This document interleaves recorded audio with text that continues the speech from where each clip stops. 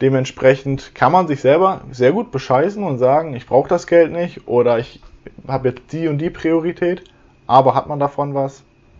Nein. Hallo und herzlich willkommen YouTube zu einem weiteren Video auf diesem Kanal. Mein Name ist Robin und heute begrüße ich euch zum Thema Finanzen. Äh, nicht wundern, ich sehe vielleicht aus wie Forrest Whitaker. Ich glaube, so wird er ausgesprochen. Ich habe in meinem Auge, ich weiß auch nicht, ich arbeite den ganzen Tag im Staub, also von daher sehe ich etwas angeschlagen aus. Letzte Nacht drei Stunden geschlafen läuft bei mir. Heute geht es aber ums Finanzen und nicht um meinen äh, Schlafrhythmus.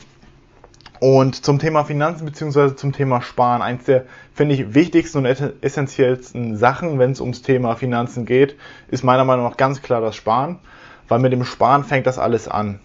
Ihr werdet, glaube ich, ja, ist, natürlich gibt es welche, aber unter den Top 10 Verdienern der Welt sind, soweit ich weiß, alle sparsam. Beziehungsweise alle haben andere Prioritäten, als ihr Geld auszugeben. Sagen wir es einfach mal so. Ich weiß, dass, ähm, oh, jetzt fällt mir der Name nicht ein. Warren Buffett ähm, wohnt immer noch in seinem Haus, was er meiner Meinung nach 1963 irgendwo in dem Zeitraum gekauft hat. Der fährt immer noch sein altes Auto, was wahrscheinlich 2000 Dollar wert ist. Der hat keinen Rechner, der hat kein, äh, kein Handy und den ganzen Scheiß. Der hat in seinem Leben bis jetzt eine E-Mail geschrieben. Zumindest ist das der Stand von vor ein paar Jahren. Ich habe das in einem Buch gelesen. Und ähm, ja, dementsprechend gibt er jetzt nicht so viel Geld aus. Also es ist jetzt nicht unbedingt ein teures Auto für 2000 Dollar, wenn man Multimilliardär ist. Natürlich gibt es auch andere Beispiele. Es gibt Leute, die haben viel Geld und ballern das alles raus. Prinz Markus von Anhalt beispielsweise. Das sind Leute, die haben irgendwann so viel Geld, die wissen nicht, was sie machen sollen und dann geben sie das Geld halt so aus. Oder auch Dan Brazilian. Die sollen alle ihre Leben leben. Ich habe da nichts gegen. Was ich heute ansprechen möchte, ist das Thema Sparen ein bisschen. Beziehungsweise, warum man sparen sollte, beziehungsweise, dass man früh anfangen sollte. Meiner Meinung nach ist Sparen, wie gesagt, einer der wichtigsten Dinge, um sich sein Geld, sein Konto, sein Kapital und seine Rücklagen aufzubauen. Macht Sinn. Jetzt ist nur die Frage, wann sollte ich sparen und wie viel sollte ich sparen? Ist natürlich ein sehr kritisches Thema weil je nachdem, wie viel man verdient, je nachdem, wie alt man ist, gibt man unterschiedlich Geld aus, hat unterschiedliche Prioritäten. Mit 13 brauche ich mir keine Gedanken um Auto machen. Mit 23, wenn meine Ausbildungsstelle 20 Kilometer entfernt ist, sollte ich eventuell schon mal darüber nachdenken, eventuell mir ein Auto zuzulegen. Dementsprechend hat man andere Verdienstmöglichkeiten, andere Ausgabenmöglichkeiten und, und, und. Deswegen werde ich hier keine Zahlen nennen. Mir geht es darum, dass ich in diesem Video sagen möchte, dass es wichtig ist, überhaupt zu sparen und früh anzufangen zu sparen. Weil das Ding ist, denken wir jetzt mal nach. Okay, wir sind elf, haben keinen Nebenjob, kriegen Taschengeld. Mittlerweile ist das wahrscheinlich mehr als ich früher bekomme, aber ich sage jetzt einfach mal 10 Euro im Monat. Ist nicht viel, aber mit 11, 12 ähm, hat man jetzt auch nicht so groß die Ausgaben, möchte ich sagen. Der Handyvertrag wird wahrscheinlich von den Eltern übernommen, weil sonst hat man gar nichts. Und ein Nebenjob ist ja theoretisch erst ab 13, 14 möglich. Das heißt, da wirklich Geld zurückzulegen, meiner Meinung nach ist Quatsch. Kommen wir aber jetzt ins Alter, wo man einen Nebenjob anfängt. Sagen wir 450 Euro Basis. Okay, man ist ein junger Mann oder ein junges Mädchen, ist 14, 15, 16 Jahre alt, hat noch keine Ausbildung, hat einen 450 Euro Nebenjob und geht zur Schule. Man denkt natürlich, okay, ich habe eh nicht so viel Geld, dann kann ich das Geld wenigstens raushauen. Kann man machen, sollte man meiner Meinung nach nicht. Habe ich auch damals nicht gemacht. Weil, und jetzt kommt der nächste Schritt, sind wir in der Ausbildung, verdienen wir zwischen 400 Euro und 900 Euro netto natürlich eine Riesenspanne. Es gibt auch natürlich welche, die da drunter fallen, die sogar draufzahlen müssen. Zum Beispiel Erzieherinnen in, im Osten müssen, glaube ich, sogar noch draufzahlen. Bei uns verdienen sie einfach nur nichts, also im Westen. Ähm, das heißt, man kann immer sagen, okay, jetzt ist gerade dieser Status, jetzt mache ich gerade das, jetzt habe ich gerade nicht so viel Geld. Man findet immer Ausreden. Bin ich jetzt, wie gesagt, in der Ausbildung, okay, ich brauche ein Auto, ja, dann gönne ich mir ein dickes Auto. Ja, jetzt verdiene ich mal Geld, dann muss ich auch ein bisschen was ausgeben, muss ich auch mal feiern gehen, muss ich auch mal das Geld da raushauen. Kann man machen. Macht es Sinn? Meiner Meinung nach nicht. Man sollte meiner Meinung nach sparen. Sind wir fertig mit der Ausbildung? Ach, jetzt verdiene ich erstmal 2000 Euro netto. Das muss ich jetzt erstmal ausgeben. Fette Wohnung, fetteres Auto. Ich erhöhe meine ganzen Ausgaben. Vertrag für 60 Euro im Monat ist in Ordnung. Ich verdiene jetzt 2000 Euro, 60 Euro. Pff, kann man machen ist doof. Wann möchte man dann anfangen zu sparen? Dann lernt man eine Freundin kennen, vielleicht eine Verlobte oder eine Frau. Ach, jetzt bin ich verheiratet, jetzt muss ich auch noch meine Frau mitfinanzieren. Jetzt lohnt sich das Sparen auch nicht mehr. Ich glaube, ihr versteht, was ich damit sagen möchte. So früh anfangen zu sparen, wie es geht, macht meiner Meinung nach am meisten Sinn. Weil man da reinwächst. Es ist einfach so, dass man immer wieder Ausreden findet.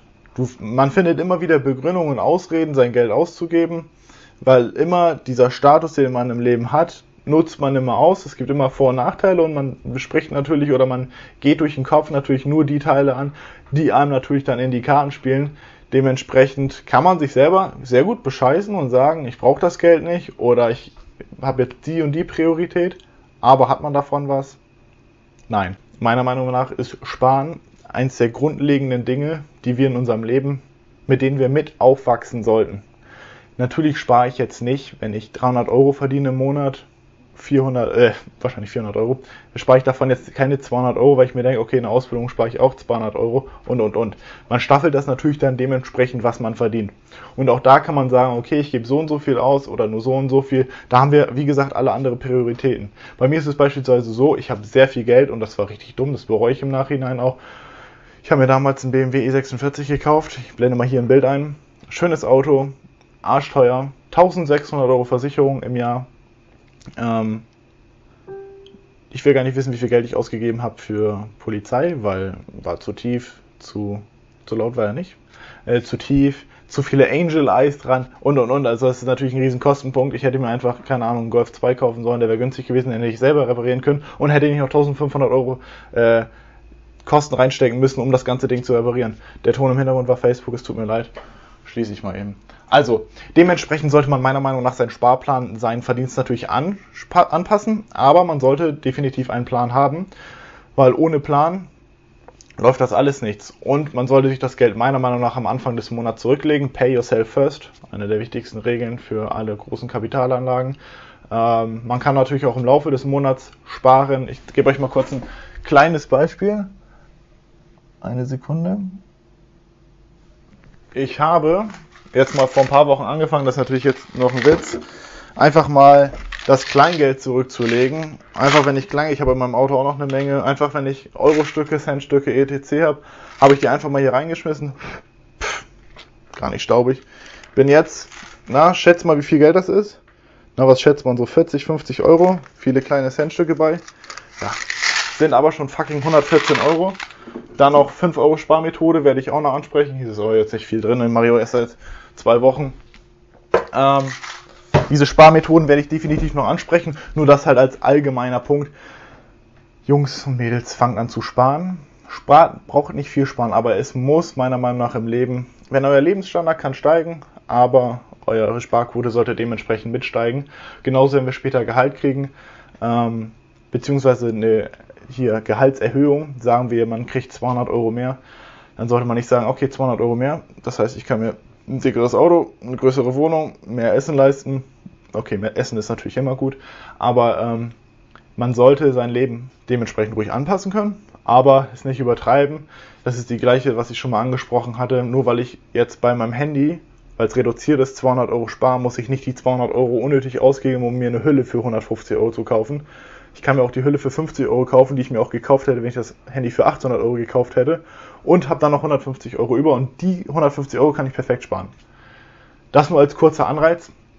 Ähm, ja, über genaue Sparquoten, Sparpläne, wie man meiner Meinung nach sparen sollte, geldtechnisch, also zahlentechnisch, werde ich nochmal in einem anderen Video was dazu sagen.